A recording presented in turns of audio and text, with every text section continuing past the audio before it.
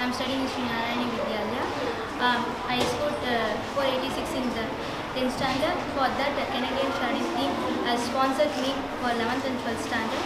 Uh, this uh, amount was very useful for me and my family.